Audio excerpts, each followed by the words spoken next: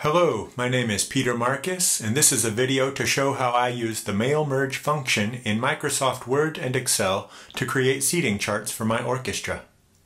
The first thing you would need to do is figure out how to do a mail merge using Microsoft products, and you can find several resources online. Once you know how to do that, I come first to Excel and I create my roster. Now in my first column, I have all of my instruments. This might be trombone 1 or uh, clarinet 1. Now, if it is a section that has various seats within it, I like to use Roman numerals. For example, violin, Roman numeral 2, this would be second violins, and then their chair number, chair number 3. And we'll see why that's important later.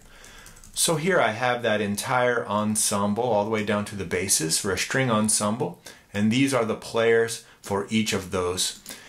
If I wanted to change their chair order easily, maybe this is fourth chair, and then second chair, and then first chair, and third chair. I've now updated those, and I'm not going to highlight their instrument.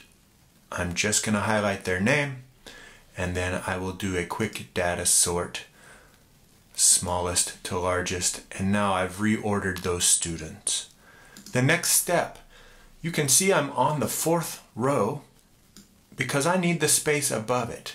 I'm going to copy this roster, that's Command or Control C, and I'm going to paste it in the very first cell. Now this is special. I'm going to right click and now I have choices paste, which is not my choice. I'm going to paste special.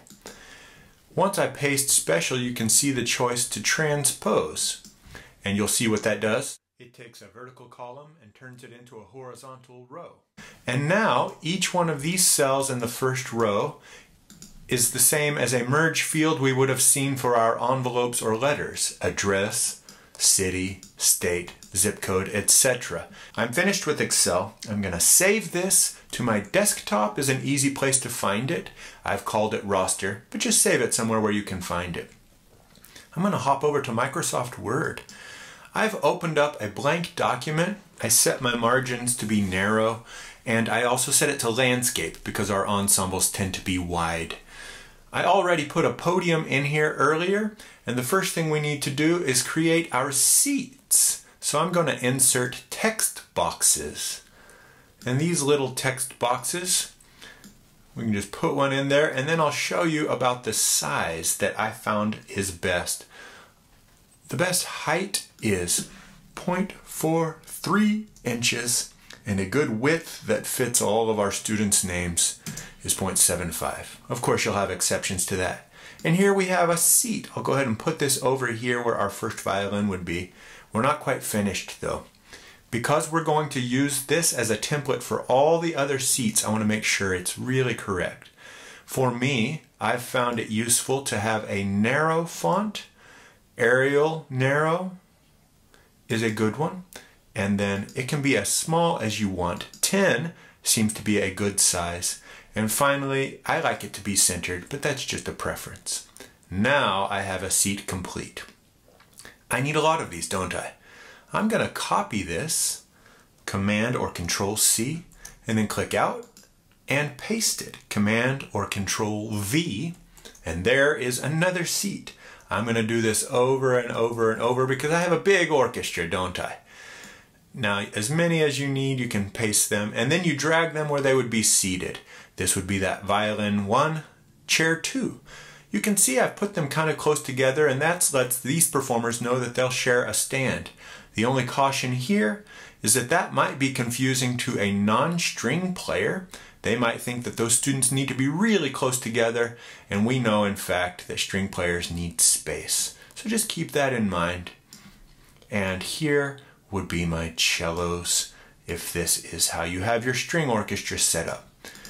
And there I have the first row of strings. Pretty handy.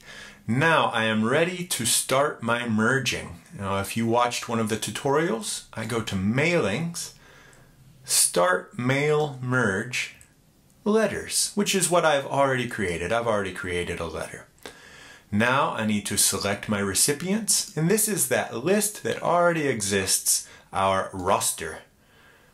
Use existing list from my desktop is where I saved it. Roster open. And here is the sheet we need. You might have several sheets in Excel for your various ensembles, string orchestra, wind ensemble, so you pick the one you need. And nothing happened, but now I am linked to that roster. Now I'm going to start putting those players into their spot. I'm going to click on that text box until I have a cursor so that I could insert text if I wanted to and I'm going to insert a merge field. Now remember this is violin 1, chair 1, and we can see now why I chose Roman numerals. Had I not, this would look like violin 11. And there, I clicked on them and they are inserted in that box. This next box, I get a cursor and I insert violin 1, chair 2. Does this take a while? It certainly does, but once you have it set up, this is my cello 1, the document will be set up forever and you can quickly change your seating charts for your students and you can also quickly generate a seating chart for somebody who's going to set up your ensemble. I could keep going with the rest of the orchestra. If I want to check that I have not skipped anyone's name or that all the formatting looks okay, I can click on Preview Results. And finally, I'm ready to merge. Now, if I print, it will print a lot of pages. I always like to edit individual documents. And you can see we have a lot of pages. We only need our first page. And then we can print only page one. That's it for how to merge into a seating chart. A few other details that can make this helpful to your setup crew I like to take a text box right down here and do chairs per row. So for example, my third row might have 22 chairs, my second row might have 18 chairs, and my first row might have 8 chairs.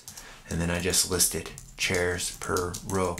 That can make it easy for other players. If I wanted to, with another text box, Maybe I have a substitute teacher or a guest working with the group so I can tell them who this is. String orchestra, fourth period, 11:15 to 12:10.